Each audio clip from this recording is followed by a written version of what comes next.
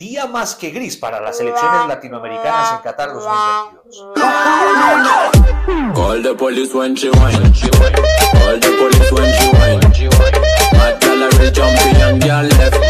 ¿Qué grupo, por Dios? Que la selección de Arabia al terminar la primera jornada termine el líder con tres puntos, con un gol a su favor, que la selección de Argentina esté última, con la derrota sumida, con una selección de México que tampoco supo ganarle ni darle la vuelta más allá de la excelente y buena actuación de Memo Ochoa, es absolutamente de locos, porque teníamos en la cabeza un panorama completamente diferente, al menos para la primera jornada, o sí, en general también para el desarrollo del grupo en general. Sin embargo, Arabia Saudita supo plantarle cara a la selección argentina. Si bien es cierto, recibió gol y recibió más goles que estaban incorrectamente marcados, muy bien por el VAR y el juez central que los anularon en consecuencia, o anularon las acciones de gol, supo mantener su equipo en competencia y metido dentro del partido en situación. Y todo ello gracias a su técnico, a Encantador, como lo bautizamos en las redes sociales, porque supo en qué momento debía retroceder y no regalar tanto la espalda para que Argentina no se lo comiera vivo. Y eso hace parte de la estrategia. Y ya posterior a ello supo los momentos exactos en los cuales debía ahogar la salida de la selección de Argentina para así evitar que la selección argentina lo atacara y por supuesto le llevara más complicaciones a su arquero, que entre otras cosas es figura del partido, y así también lo dicen las estadísticas. Asestó dos golpes maravillosos, y son los dos goles por supuesto. La responsabilidad del Dibu Martínez es enorme. Es que las estadísticas tampoco mienten y no podemos manipularlas a conveniencia para un lado y a no conveniencia para otro. Dos remates a puerta y los dos fueron al fondo de la portería. Y de ahí aguantar, pero saber aguantar, saber esperar, saber hacer desesperar a la selección de Argentina que no supo nunca cómo descifrar el cerrojo defensivo.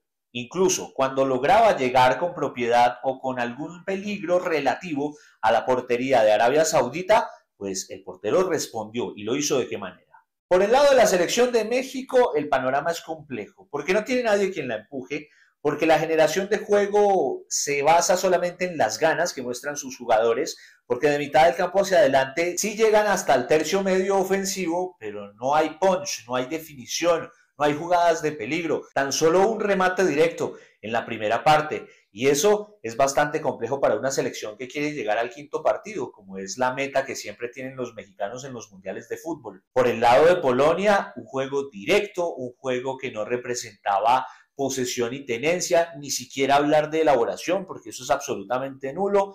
Tiraban la pelota en balones rectos, ganar el cabezazo y pelear la segunda jugada. Con todo eso tuvieron un penal para irse adelante, pero Memo Ochoa, en un capítulo aparte y memorable en su quinto mundial y con una tajada que al menos le significó un punto a la tricolor, pues logró mantener su arco en cero. La próxima jornada va a ser absolutamente candela, porque Argentina y México se juegan gran parte de su clasificación. Ojo que no estoy diciendo su clasificación, gran parte de su clasificación, porque México con un punto y Argentina con cero puntos de ganar no tienen asegurado absolutamente nada. Lo que sí es cierto es que ese partido va a ser absolutamente hermoso. Y habrá que ver si la selección de Arabia Saudita tiene la fuerza suficiente, el fútbol suficiente, la estrategia suficiente para poder derrotar a una selección de Polonia que definitivamente no es que tenga muchas opciones a la hora de jugar a la pelota. Capítulo final para decir que no todos están para meterle tres goles a Polonia en una fase de, grupos del Mundial de Fútbol. Lo hizo Colombia con gol a bordo de Radamel Falcao García y todo lo que gritamos ese gol. Ya sabes que tienes que suscribirte a este canal para poder seguir de cerca las implicaciones y cada uno de los detalles que ocurran en el Mundial de Qatar 2022 donde te tengo estadísticas, números reales, estrategia bien definida, análisis pormenorizado. Una cantidad de cosas que solo encuentras aquí, así que suscríbete. Chao.